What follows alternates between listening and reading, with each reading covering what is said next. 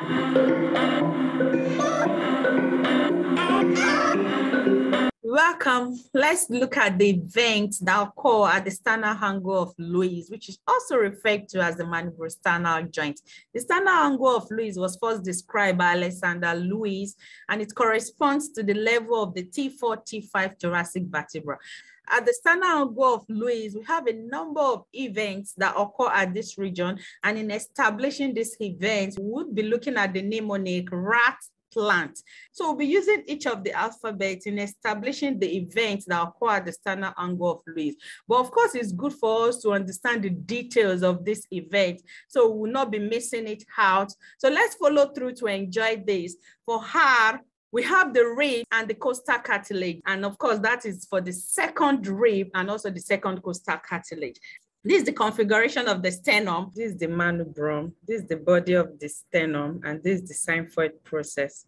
So we have the manubriosternal joint between the manubrium and the body of the sternum. And this is also called the sternal angle of Louis at this level, we have the second rib and also the second costal cartilage.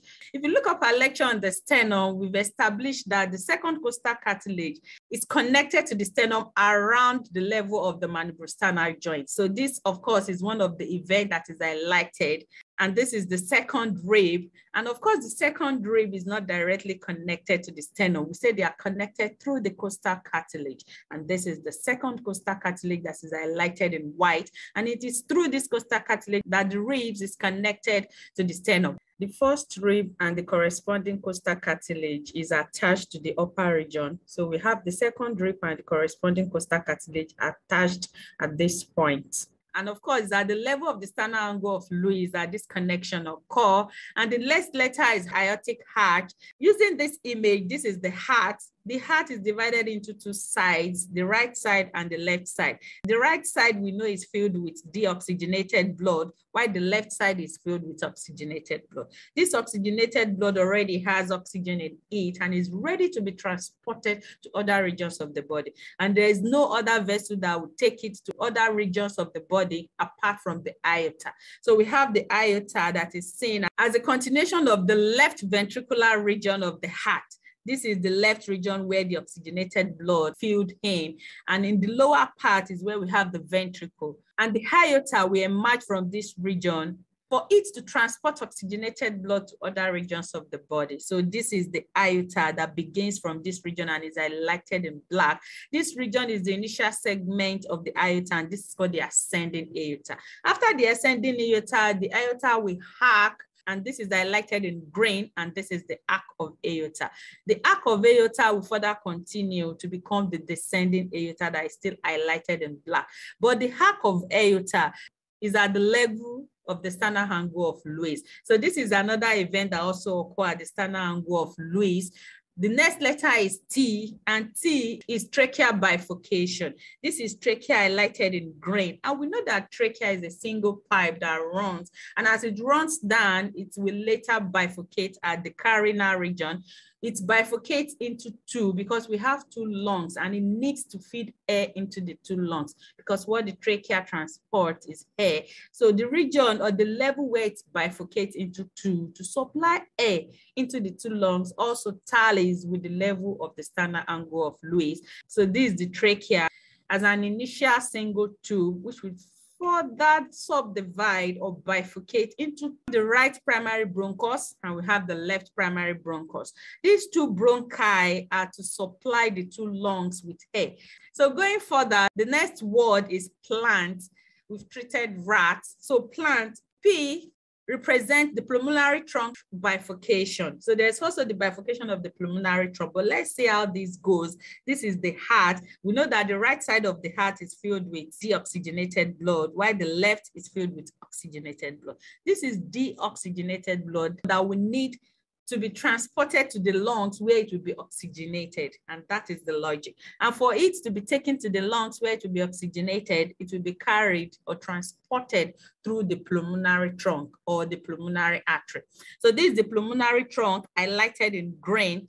And of course, the pulmonary trunk we also need to bifurcate into two because we have two lungs where it will be trapping the oxygen from. So the level also where it bifurcates into the right and also the left pulmonary artery also tallies with the level of the sternal angle of Louis because it also needs to bifurcate so as to receive oxygen from the lungs. And of course, we have two lungs, so it needs to also bifurcate into two so that oxygen that is being supplied into the lungs by the trachea will not be taken up by blood that is supplied by the pulmonary artery. Then going further, we have L. L is for the left recurrent laryngeal nerve. And the loop of this nerve is what is seen around this region. We know that the recurrent laryngeal nerve is a branch of the vagus nerve. So this is the vagus nerve highlighted in blue. And we have a branch carved out from it that's called the left recurrent laryngeal nerve. So the loop of this nerve, where it loops to move upward to supply the larynx at the upper part of the body also tallies with the sternal angle of Louis. So we have another L that is called the ligamentum arteriosum. The L is like double. We already have one L as the left recurrent laryngeal nerve. So the second L is the ligamentum arteriosum. This ligamentum arteriosum is highlighted in green, and this structure tends to connect the pulmonary trunk with the arc of aorta. Because the pulmonary trunk bifurcates at the level of the sternal angle of Louis, we also have the arc of aorta at the level of sternal angle of Louis. So for a ligament to be connecting these two structures, it will also be seen at the same level. So we have the ligamentum arteriosum also at the level of the sternal angle of Louis. This ligament is an embryonic remnant, which later becomes or transforms into a ligament that is seen to connect the pulmonary trunk with the arc of aorta. Of course, it's seen also at the level of the sternal angle of Louis. Then we have the azygos vein. Of course, the azygos vein drains into the superior vena cava, also at the level of the sternal angle of Louis. So we need to know the details of how these events are formed, not only establishing the different words from the mnemonic, but specifically what event occur around the sternal angle of Louis. We already established that this is the right side of the heart, this is the left side. We know that the right side is filled with deoxygenated blood, and deoxygenated blood is received at the upper chamber of the heart through the vena cava, which is the largest vein in the body. These veins collect all venous blood from different regions of the body and is being emptied into the upper right part of the heart. And it is through the vena cava that it does this and this is the vena cava highlighted in green. The vena cava is further subdivided into two. We have the inferior vena cava and we have the superior vena cava. The inferior vena cava will receive venous drainage from the lower part of the body, while superior receives from the upper part. Around the superior vena cava, we have the emptying of the azygos vein that is highlighted in black, and this is the azygos vein. So at this level, it empties venous blood into the superior vena cava, which will also merge with venous blood from the inferior vena cava which will finally be emptied into the vena cava before it now goes into the right side of the heart. So at the level of the sternal angle of Louis, it's also where you have the azygos vein draining into the superior vena cava. Then the N, N is nerves. So you have cardiac plexus also saying along the sternal angle of Louis, and we have T, which is the thoracic duct. The thoracic duct around the level of the sternal angle of Louis passes from the right side to the left side behind the esophagus. So this is the thoracic duct. And at this level is where you see it parting from the right side to the left side.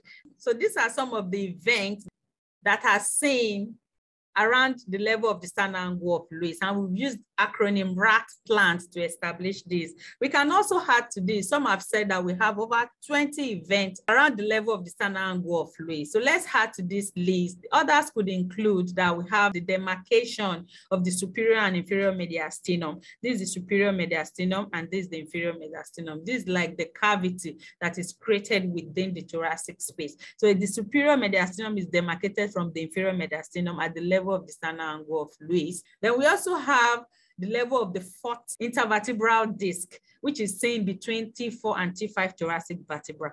So these are the thoracic vertebra highlighted in blue. And in between the thoracic vertebra, we have the intervertebral disc that is highlighted in yellow. And between the fourth and the fifth thoracic vertebrae, we have the intervertebral disc. And this is the intervertebral disc. The fourth intervertebral disc is also seen at the sternal angle of Louis.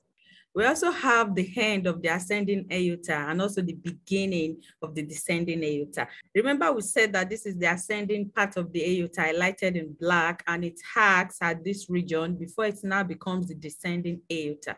So the ascending aorta will end at the level of the sternal angle of Louis, and also the descending aorta will begin at the level of the sternal angle of Louis. And this is the end of the ascending aorta, which tallies with the level of the manubriosternal joint.